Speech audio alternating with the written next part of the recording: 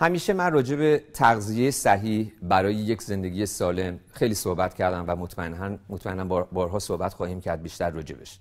ولی برای اولین قدم هایی که برای سلامتی ما برمیداریم یکی از مهمتریناش 100 درصد تغذیه هستش.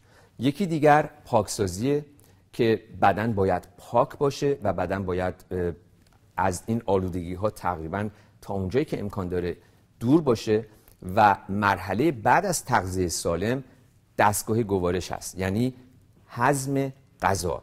البته فقط هضم غذا نیست هضم غذا اولین قدم هست. ولی غذای ما باید سالم باشه. ولی اگر بهترین و سالمترین غذاها رو ما بخوریم منتها این غذاها در بدن ما به درستی حل نشه و هضم نشه و جذب نشه و غیره نتیجه مطلوب رو ما نخواهیم گرفت. یعنی اون تبدیل به سموم میشه در بدن ما و ایجاد مشکلات و ناراحتی خیلی بیشتری می‌کنه.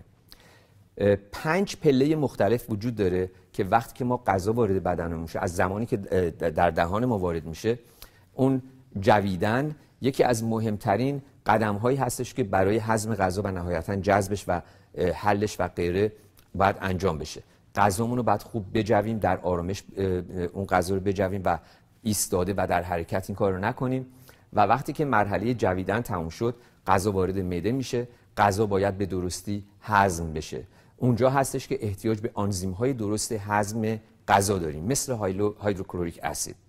و بعدا از لوزالمعده و از بایل صفرا اینها میان و کمک می‌کنن به هضم بهتر غذا.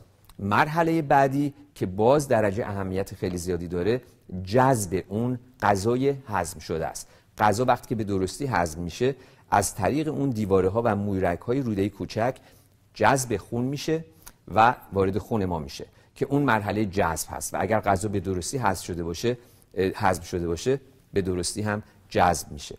مرحله بعدی که باز اهمیت خیلی زیادی داره این هستش که وقتی غذا جذب شد و وارد خون شد حل بشه و یکی بشه با بدن ما با وجود ما یکی بشه و مرحله بعد از اون بعد از حل شدن و یا اسیمیله شدن مرحله هستش که utilize میشه. یعنی اون غذایی که خوردیم هضم شده و جذب شده و حل شده در بدن شروع می‌کنه به utilization و یا به عبارتی شروع می‌کنه به سوخت و ساز و انرژی دادن به ما و به تمام اعضای بدنمون.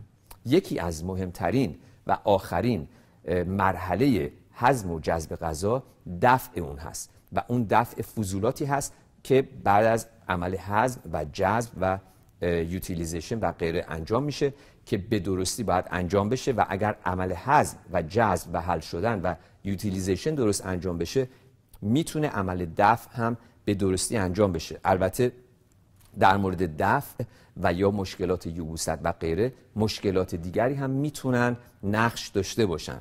ولی در این چهارچوب بحث امروز ما فعلا اگر ما مطمئن باشیم که هضم ما درسته جذب ما درسته حل شدن غذا درسته و یوتیلیزیشن و به کار بردن و به سوخت و ساز در آمدن اون غذا درست هستش نهایتا دفع اون هم می‌تونه خیلی بهتر باشه. در برنامه های آینده می‌تونیم بیشتر راجع به اینکه دفع غذا یوبوست و چگونه می‌تونیم یک دستگاه گوارش سالمتری داشته باشیم حتما صحبت خواهیم کرد.